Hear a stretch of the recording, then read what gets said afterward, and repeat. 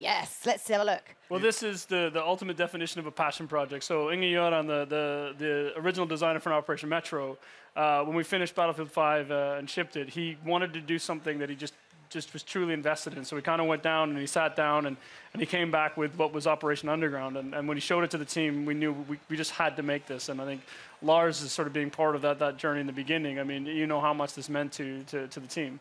Yeah, I mean, I was there when, when uh, we started to build the maps for Battlefield 3.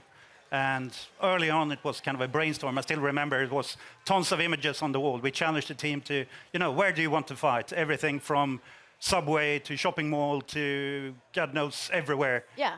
Uh, and then the team started, or someone smart, not me, apparently, uh, said, "Do I only get to pick one?" Yeah. So they started to pick a number of them, and I think Inge then chose three of them, which was the park, the subway, Ah. and uh, kind of the bank area in the city. Like a kind And of that- scene tapas. I mean, you don't want one Yeah. meal, you want three lots of meals all in More one is meal. always better, yeah. Right? Yeah. So you can see when you see kind of it spinning in behind us here, you can see the true inspiration. But what Inge Göran and the talented crew with him has done is to, to kind of take at heart the feedback from the original Metro and mm. started to provide especially a lot of flanking routes so that you can kind of move around and be smart about it. And mm. tons of easy to spot ones, but also Everyone the most a sneaky sneaky ones. flank. Yeah, Everyone no, loves the think- sneaky think- flank. flank is good. This is Cheeky, the- High on the sneaky flank. I mean, I think as you look at it, like this is this is not Metro remastered. This is as the guys look at it, sort of reimagined. And I think you've got a bunch of different diverse areas. You've got uh, big open courtyards, you know, at street level and, and narrow streets, and you go down into where you see in the in, in the video here, where the